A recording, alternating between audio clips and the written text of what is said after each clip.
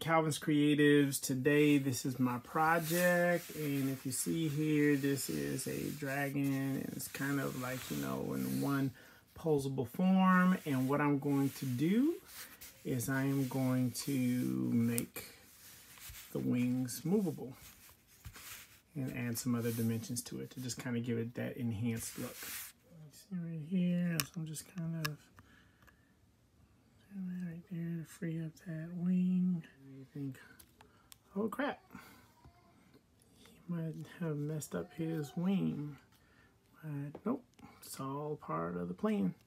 Let's keep working. So we have one wing off. We got one wing to go. We're just gonna keep working through with this guy. So I had some um, parts that I targeted and identified to use as restructuring pieces for the wing capacity.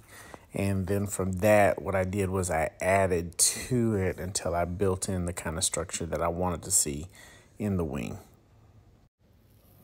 So, uh, fun times this is kind of where we got, um, and I was really looking at the way it, uh, the functionality, the the movement, make sure that the wings and everything move the way that I wanted them to, and then I went from there into uh, focusing more on the detail.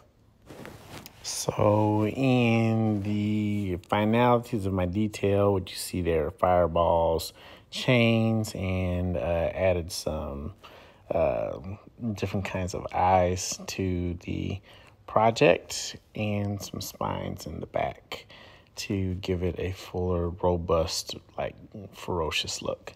And that's my project. Thanks for joining me at Calvin's Creatives.